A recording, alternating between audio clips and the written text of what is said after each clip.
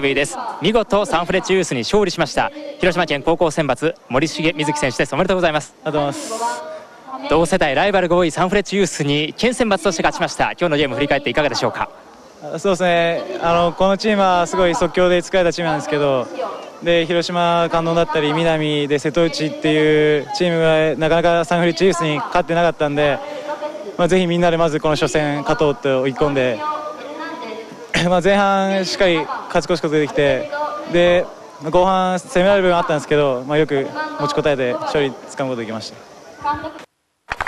バルコム BMW カップ平和記念広島国際ユースサッカー2010は全日程が終了しご覧のような結果になりました。